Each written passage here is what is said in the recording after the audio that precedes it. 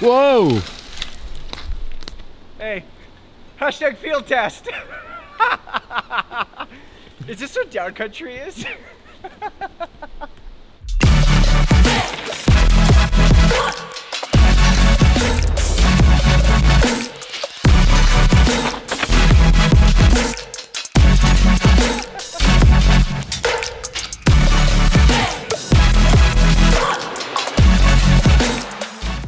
Hello, I'm Henry and welcome to the Downcountry Field Test. Behind me we have the Santa Cruz Blur and it's a name you might be familiar with if you follow World Cup XC Racing. Now just like Canyon do with their Canyon Lux Trail, this is the Santa Cruz Blur TR and it sees an increase in travel to 115mm at the back to make this bike all that more capable. The Blur has been in the Santa Cruz lineup for a pretty long time. In fact, this 2022 model marks two decades of Blur. Whereas some bikes in Santa Cruz's range are all about park life, this bike, along with the Wilder from the sister brand Juliana, are all about XC, girls and boys having a good time. So we've come to a big old house in the country to find out how they get on. I really hope Liam Gallagher doesn't watch this. Uh, he's probably an e-biker anyway, fuck. The Blur shares a very similar silhouette to its previous version, however there are some big changes afoot. Most notably this bike is 289 grams lighter, and it also moves away from Santa Cruz's famed VPP system. This bike instead relies on a flex pivot in the rear end, and I imagine that's the lion's share of the weight reduction. The Blur has its foundations in XC racing, and it's not just features such as the flex pivot that point towards it. For instance, much like the Canyon Lux and Rocky Mountain Element, it also can have two water bottles inside the front triangle. The bike features fully internal cable routing as well as a very impressive insertion depth for the seat post. It also has a SRAM universal derailleur hanger to make spare parts a bit easier. The Santa Cruz Blur TR sees an increase in travel front and back, which should make it far more capable on the descents. However, it does have relatively conservative geometry compared to some of the other bikes on this test. As previously mentioned, this bike makes use of Santa Cruz's Flex Pivot Superlight suspension system. Now this may surprise you, but Santa Cruz say that this system increases traction and grip for your riding, which sounds, well, it sounds pretty good. It's almost as if we've heard it before. Joking aside, what it does mean is that Santa Cruz have been quite coy and they've actually reduced the anti-squat number as well as the leverage rate. This should give more grip and lessen the chain's influence on the drivetrain to hopefully mean this bike not only pedals really well, but also grips really well. The bike uses a Fox 34 with a step cast lower as well as a DPS shock that has a 45mm stroke. So we've loaded up the van and we've come to Pemberton to compare these bikes and find out their strong points, their weak points, and how they compare against one another. So let's get into it.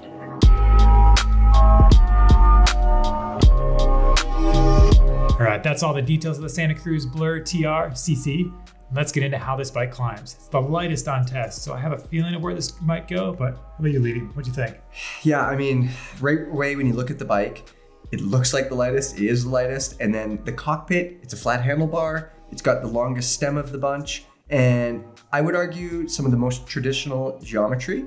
And when you're on the trail, this thing feels like a rock ship on the climbs. I think because of that. Uh, a little quicker handling, it's very light. I found the suspension to be pretty efficient, despite the efficiency test results that we're gonna get to in a few minutes. But yeah, overall, I was very impressed with the climbing. How things go for you out there? I would absolutely agree. I think on single track, this is the best climbing bike of the bunch. It's got an amazing characteristic where it really does suck itself to the ground, almost like sort of like a coil sprung bike might do. Um, that does have the trade-off that it perhaps isn't the firmest when you stomp on the pedals. Um, but I think overall it has a really nice climbing characteristic just because of the large amounts of grip.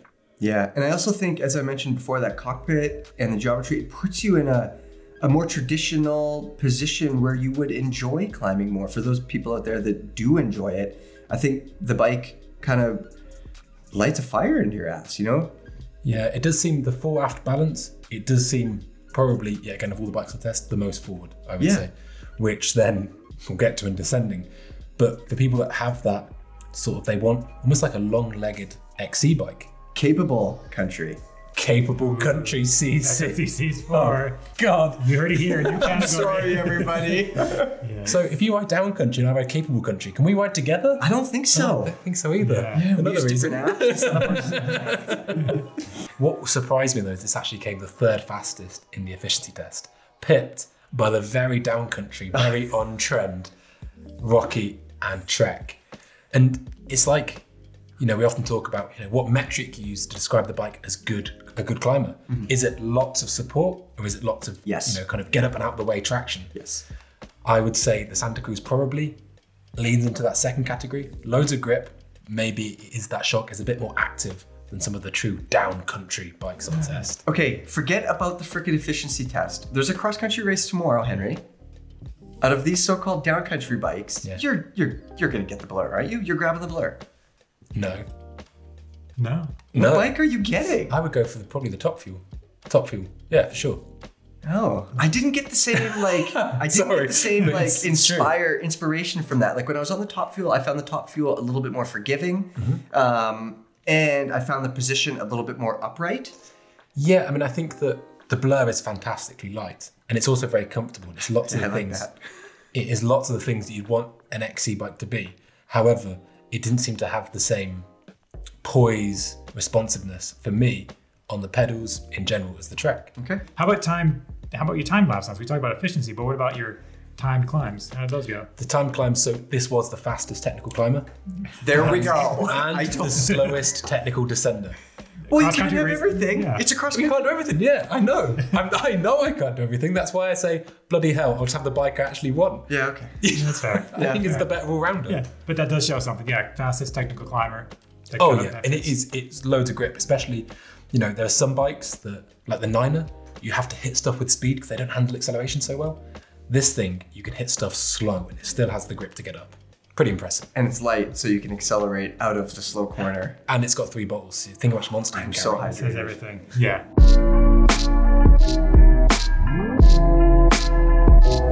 Well, let's talk about the descents. You got this 23 pound bike. You point it downhill. You got some steeper things around here. How's that go? I mean, I liked it. do you know? Do you know what Mike said to me?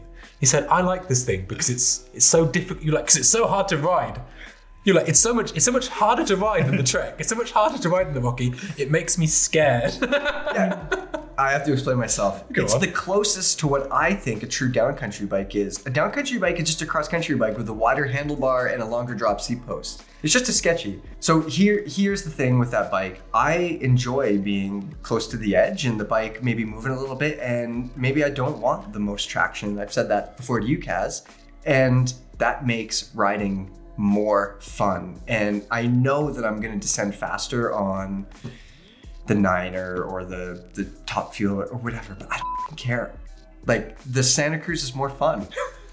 You can't argue with that. I mean, one thing I did like about the Santa Cruz is not only does it have a long insertion depth, it also, Santa Cruz have got the common sense, unlike Canyon, to spec a seat post with long drop. Yeah. So it, yes, it is an XC, quite XC bike that you, know, that you could race, but also it's not that much of an intimidating prospect. In fact, I would say the Santa Cruz feels like a far better execution of more kind of conservative XC inspired geometry than Yeah. the Canyon. We're riding a medium Canyon because It has a five foot long seat tube. a five foot long seat tube and the, the effective top tube, you pretty much measure it in miles. It's a long way. We kind of touched on it a little bit earlier, but you said this was the fastest climber, but also the slowest descender. Yeah, in my hands, somebody that is used to longer travel, more comfortable bikes, and not used to living by the seat of my pants like Levy, Just hanging on. just hanging on. You know, this, I couldn't quite get it, you know, get it going as quick as some of the other bikes. It was similarly paced as the Canyon. The Canyon just pipped it by around half a second, but neither bike was going all that fast. Hmm. Yeah, neither the Canyon or the Santa Cruz really excel on this sort of rooty, rocky terrain. I mean, it, it is appropriate terrain. It's nothing that's above their heads. But when you do start going fast on that stuff, it's rough and it's been wet and it's super slippery. And yeah, I think both of those bikes definitely you are closer to the edge than you are on some of the others.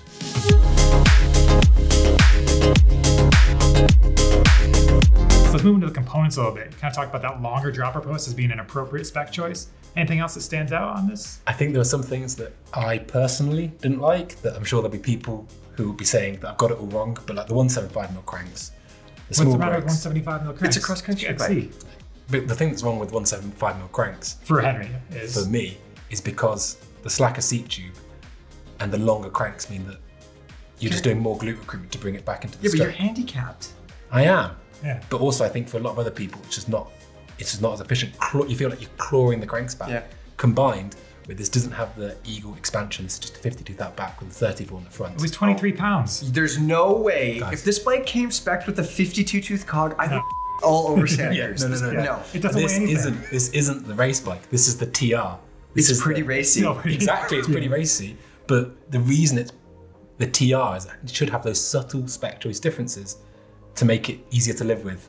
You know, I will agree with you on one point. You say subtle spec choice differences. You know what wouldn't be subtle? Having some four piston brakes. Hmm. It has two piston brakes on it, and in the past, I will admit, I've argued with Kaz over here. I've said two piston is fine.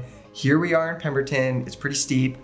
It's not as fine as the bikes with four pistons. You know, yes, there was there was the same point in every run where I was just like, just just making my peace. But I will say though that for how this bike is meant to be ridden, which is definitely more towards the cross country side of things, I don't think they're crazy out of line for a lot of places in the world. I would like to see that reach adjustment on there because they did migrate a bit and you got to get like a freaking like 0.1 millim- millimeter Allen key in there to adjust them, which is useless. But What brake? Those are the level, certain level yeah, brakes. those are levels. Yeah. Yeah. So other parts of the spec I really liked were the subtle changes that I think they got right. So it includes a chain guide and a really long drop on the seat post, mm-hmm. which I thought was great. Super handy when you're on a little travel steep bike in a place with gnarly trails. That's for sure.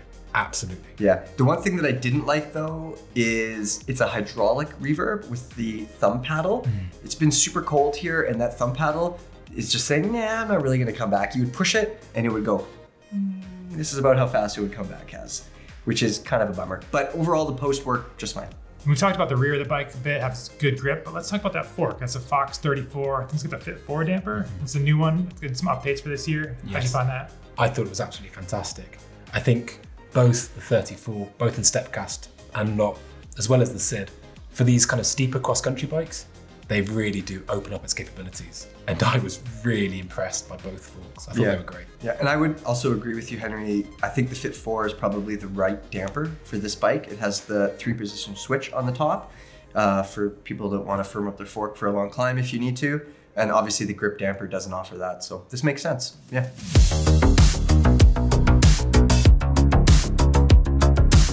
All right, let's get into some pricing and some builds. The bike we have here costs 9,449 US dollars. And it's not actually the top of the line spec. There's one that goes for $11,000 that has even more fancy things on it.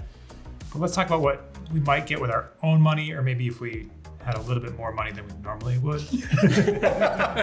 Well, let's pretend I have some money for a minute. I think Yeah. the one that makes sense to me is the XT Spec C frame model. Now, it's a little bit heavier, it's about 26 and a half pounds or so, but the spec just makes sense. Performance Fox suspension, uh, level brakes, all sorts of stuff that just works. And then we should also mention actually, Santa Cruz offers carbon wheel upgrades, so you could save some money, get the $4,600 bike, and if you wanted to spend on carbon wheels where it might make a difference, you know,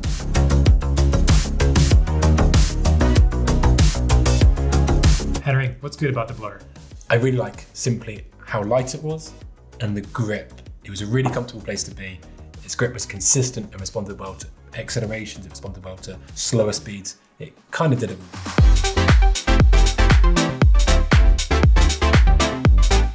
Okay, that means we have to talk about the negatives. And I think the big one for me here is more of a philosophical one about the entire bike. You know, if you are looking for all out capability from your short travel bike, this Blur probably isn't it. This is really a cross country bike. Actually, if you go to Santa Cruz website, I think they say it's actually not a down country bike. Specifically, they say that, even though it's here in our down country test. Um, but yeah, it's you are closer to the edge on this bike. So if you're a rider who likes to frequent challenging terrain, you like to push yourself technically, um, this probably isn't the bike for you.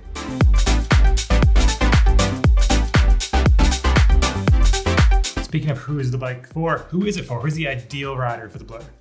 It sounds like the ideal rider is me, to be honest with You you. loved it. Hey, every Yeah. time you were like, this is just the right amount of danger pedaling up the hill.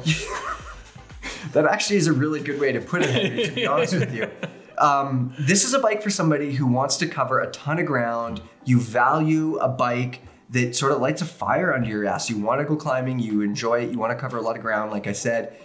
But maybe you also aren't all about the downs. You know, you, you're not timing yourself on the downs. Your KOMs come from the climbs, not the descents. Imagine that, Kaz. Yeah, it's something different. Yeah. Yeah, I mean for you, not for me. Yeah, yeah. Mine- I get both. Yeah. I think for me, the place that Santa Cruz would really shine would actually be as almost like an all-day like marathon bike. Yeah. It's so comfortable. It's light enough. It's a bit more security than an all-out cross-country rig, but still, it doesn't gain too much weight compared to an XC rig, etc., etc. I think it's a pretty good marathon Yeah. bike. There you have it. That's the Santa Cruz Blur TR. Be sure to subscribe to stay up to date on all the field test content, and we'll see you soon.